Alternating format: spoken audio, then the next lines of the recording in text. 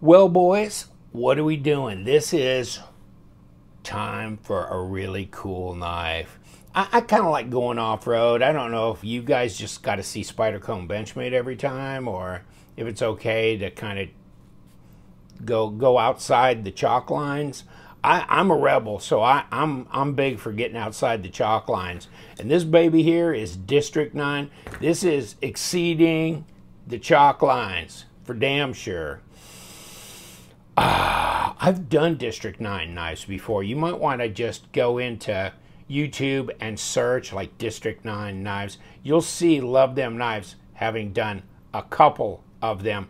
I didn't get that. What was that? Armageddon or something like that. It was big, huge, crazy, but it was like 400 and some dollars. And I go, nah, nah. And, and there were some things on it I wasn't all that crazy about that I thought were overly gimmicky. This one, though, is called the Battle Flipper, uh, District 9 2020. So, what's interesting about this, and I saw this picture, and god dang it, I couldn't find the damn thing again to, to show you for my for my video. Doesn't that drive you crazy? I went through my stuff and I go, ah, no, a guy sent me a picture. Okay, guy sent me a picture of this knife, but somebody had flamed this. So it's like hot vent gas, hot gases venting out, you know what I mean? And so this was like purplish, bluish, you know, because it was flamed, right? So it really looked cool. It was a really great effect. If you find that picture, send it to me, damn it. Because I want to send it to, um, oh God, now I can't remember his name. Wade, I think, uh, that that can uh, do flame ano. Um, and so this, see, you should flame, that. if you're going to flame this, you got to flame that, I think. And then, you know, because if it's got holes, flame it. Uh, this is a really cool design. I like this. Now, you're looking, how do I open this pivot? Well, you can use a Torx right here. This is just decorative here, and I think it's, I think it's brass. I can't remember if it's copper or brass. I'll look, but there it is. And then, of course, it's it's titanium hardware, and it's anodized blue. And this, they give you the tool for this. So they did a proprietary fitment on the on the pocket clip, but thinking about it, uh, that's probably okay. You know, it's probably okay because just a regular screw. I think this kicks it up a notch. I think it gives it some more some more interest there. And then you've got these fullers running the full length. And then look at that reinforced tip. So it's a brutal tip here. See that? And this looks like a flat grind, and this looks like a hollow grind. And where?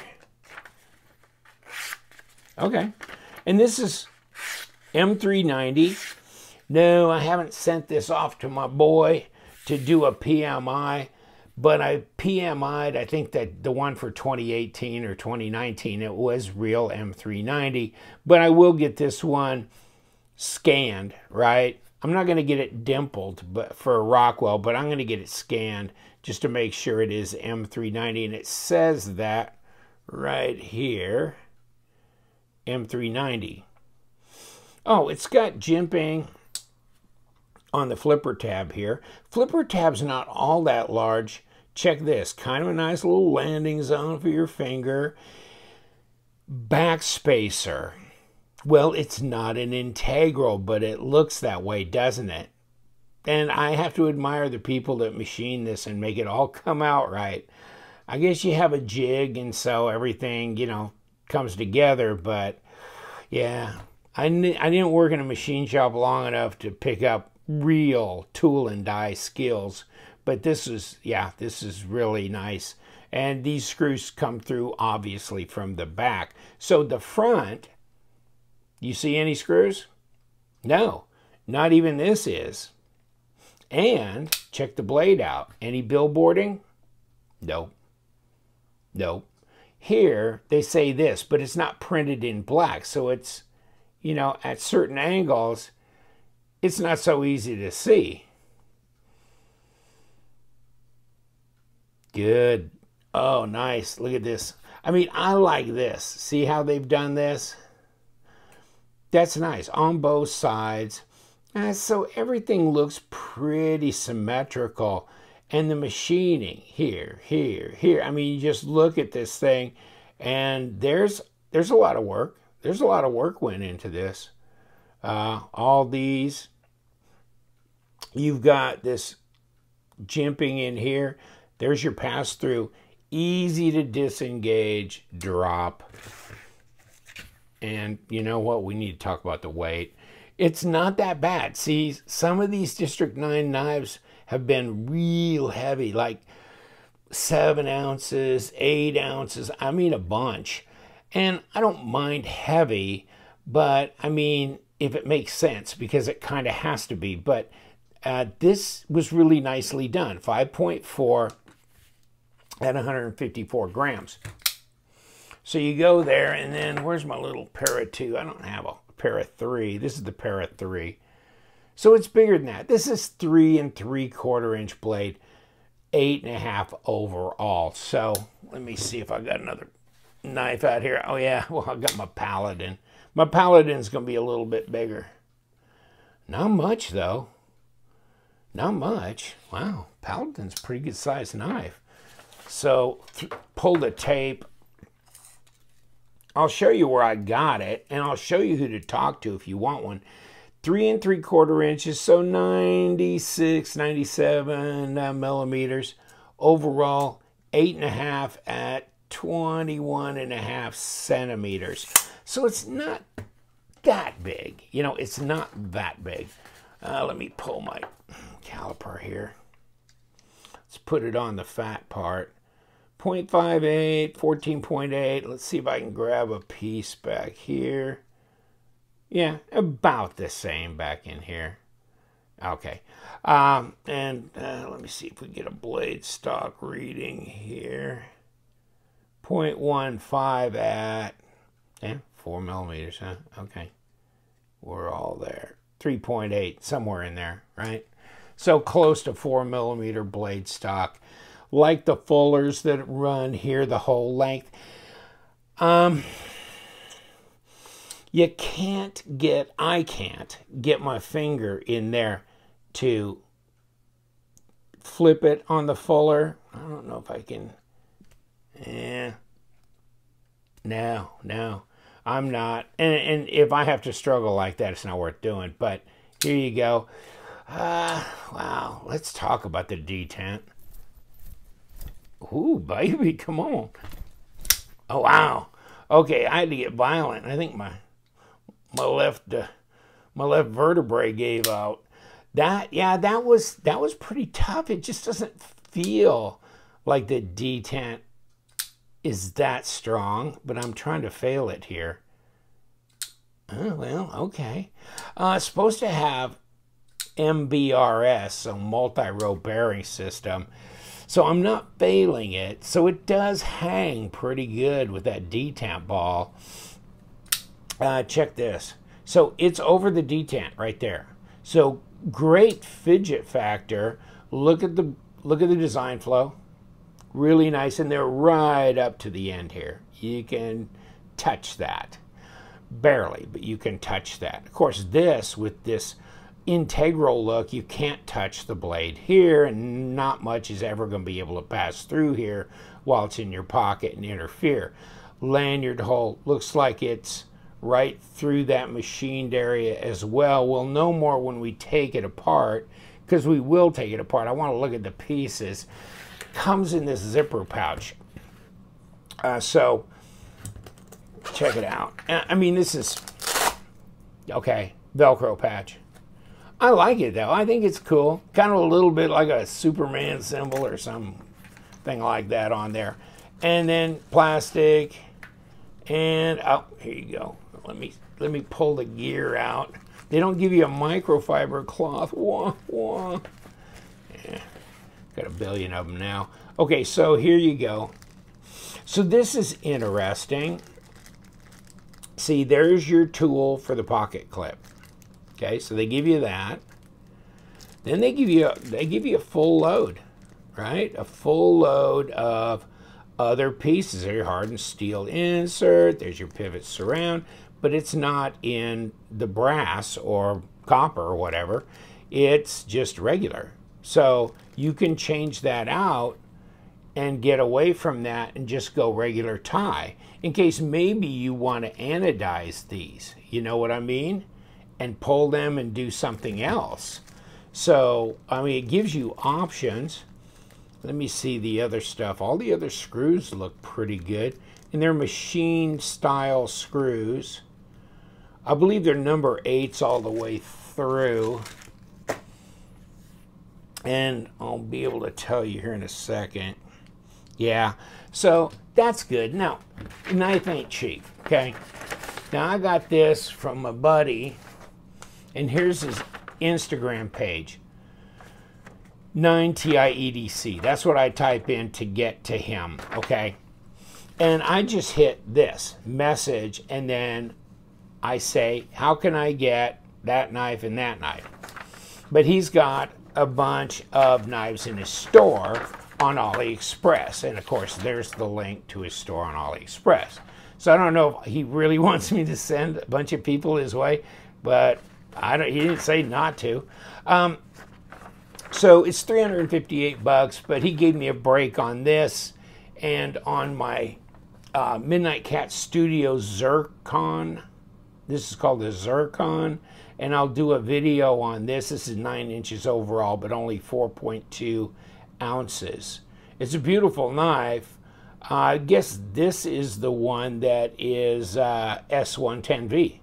So that'll be interesting as well. But so I, I always want to get more than one knife if I'm going to go in and ask for DHL shipping. So within two days of me paying him, DHL gave me notice that they had received the package, and five days later it was on my doorstep. So that's pretty damn quick. That was seven days from the day I paid him to the day I received the two knives from China. Okay.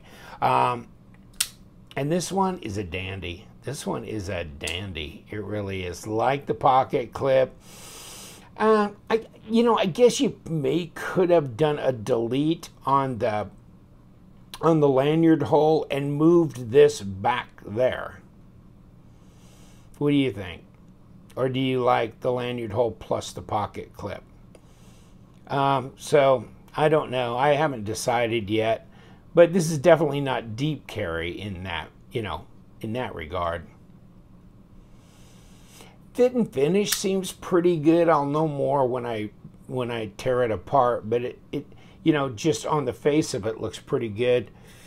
Uh, yeah, that's pretty symmetrical. What's my lockup? Well, that's pretty good. That's 30 to 35% hardened steel insert, all that kind of stuff. Yeah, over travel stuff. But yeah, easy out of the uh, detent ball. So nice drop, very smooth, but controlled, not too guillotine-ish. Ergos are nice. They feel pretty good on this. It's pretty neutral here though, so you really don't have much to worry about.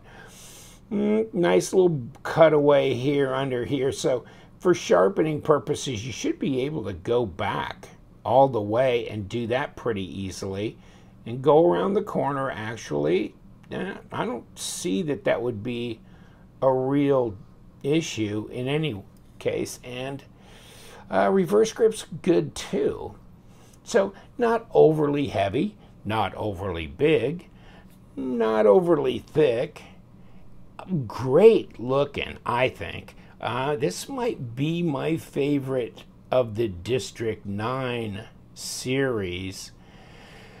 And I guess I need to pay more attention to them, but they're kind of a no-name. No, no, nobody knows about these knives, right? I mean, Riot made a knife called District 9, right? But this is a District 9 brand, not model.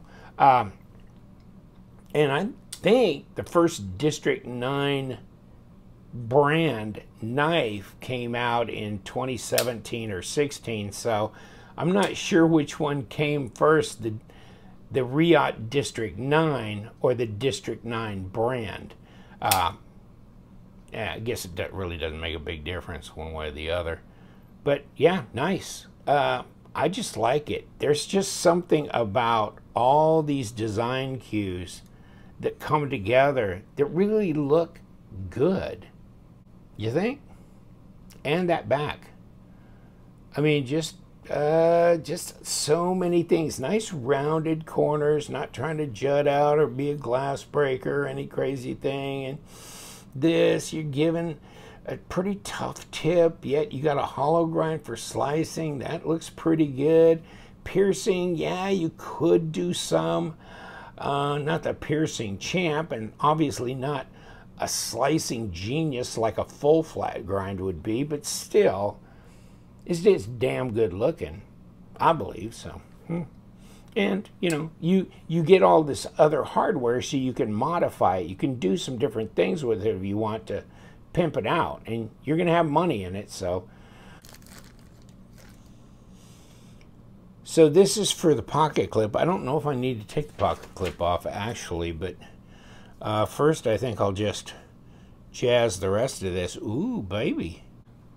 Found out it's a 10. Wow. Well, stuck an 8 in it and just twirled. Uh, here we go. Ooh, there's definitely no thread locker in there. That was just coming out. Uh, okay.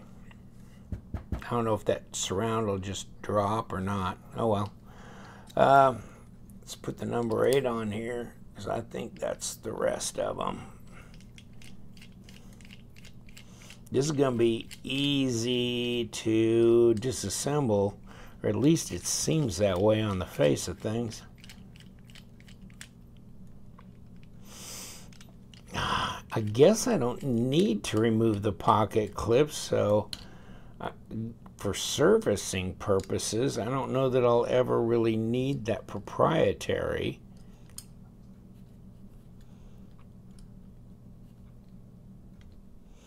I didn't get that all the way out. Or this. There we go, finally. Didn't unscrew them all the way. So there's all the screws. And number 45. Okay, interesting. So, and there's the screws there. That one's falling out at least. They're going all the way through, so I think they look to be the same length right there. Definitely heavily weight relieved in here. Very clean looking. Oh, baby, we got free floaters in here. Oh, wow.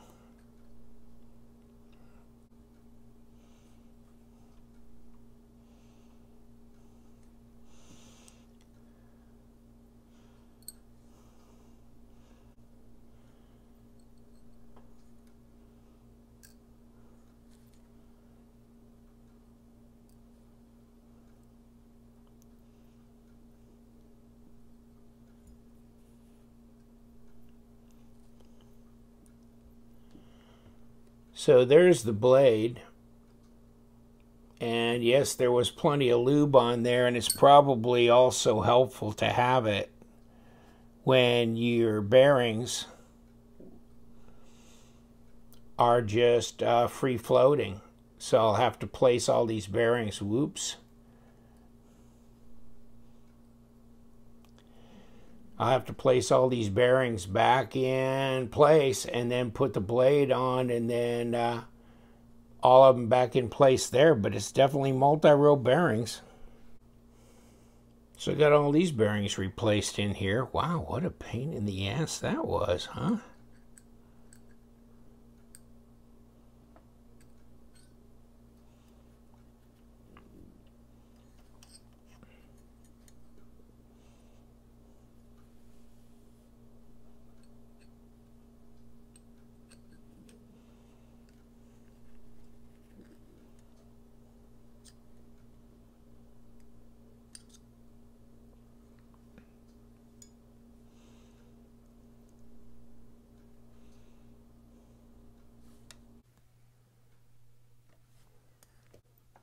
Oh, yeah. Ooh, I'm out of this stuff. That's weird. Okay.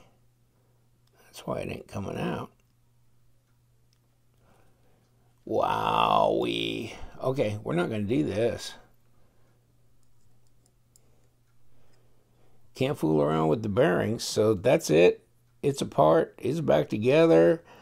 Amen. Brother. That's scary. I dumped a bunch of them and had to put them back in. That wasn't no fun.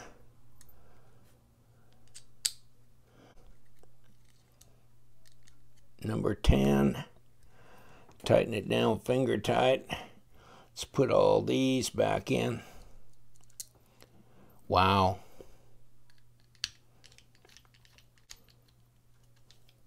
Good to go. Here and here.